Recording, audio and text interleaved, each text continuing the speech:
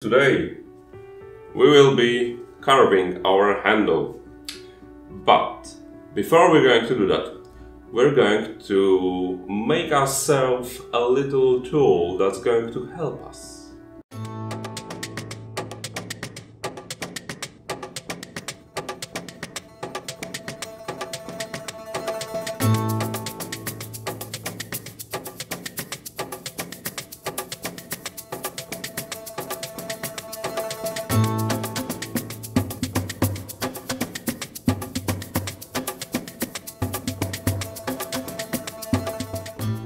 Now what we're going to do, we're going to use the metal punch and we're going to punch it in the places where the circle crosses the straight line.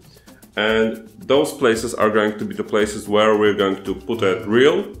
And then we will put our rubber string through it. And we're going to do that on both pieces and our jig will be done.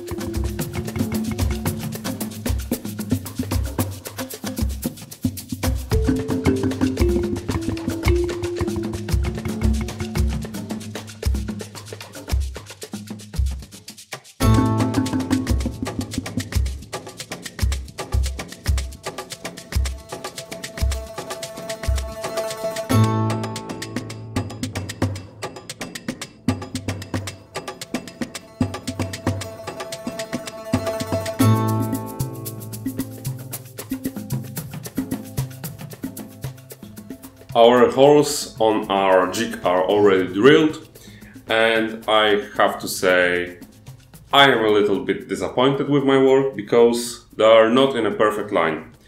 Uh, and I have a very good explanation why that is. Well, I was planning on using a 1mm or 1.5mm drill for that mandrel, for that jig.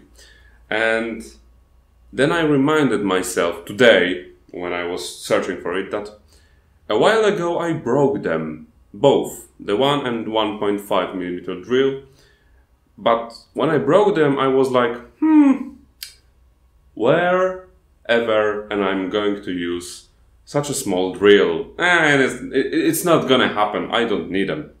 And guess what? Yeah, when, when I needed them, they were gone, so always remember that uh, check your tools before you start the job. And uh, I had to use two or uh, 2.5 millimeter drill uh, for this, and because of that, some of the holes connected or almost connected. So I'm not very happy with the work, but I think for today it will have to do, and I think it won't matter in terms of using the jig.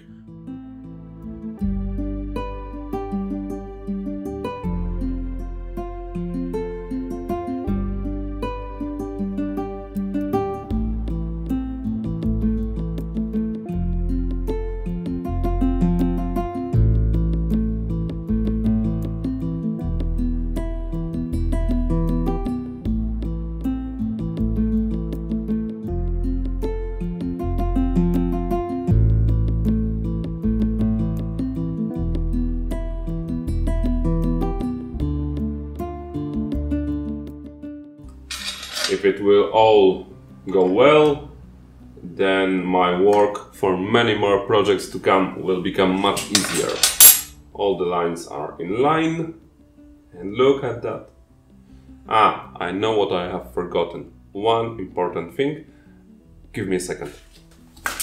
We need to mark one line so that when we're turning the wheel on the other side, we know exactly how much have it turned. Has it turned 45 angles, 180 or 360? So this will be our starting point and this is our starting point as well. So now we know how much exactly have we twisted the end and how much the spiral is going to be twisted as well. yeah, okay. Mm-hmm. I. No, it, it, it does work. It does work. I want to have it like 180 And now what we need to do is to lock it. Okay, it's it's locked and it works. It works, ladies and gentlemen. We have a working jig for carving the handle. This is 180 degrees twisted wire. Uh, I have to say it looks good from all the sides. Uh, should we go and try to make it 360? It's going to be tight, but let's let's see it. This is just string. If it breaks, well, I can go buy another one. This is just a cheap, cheap string. Okay, so this is 180 and let's give it a whole twist. Uh, it's tight, it's tight, it's too tight for some regions. Uh-huh.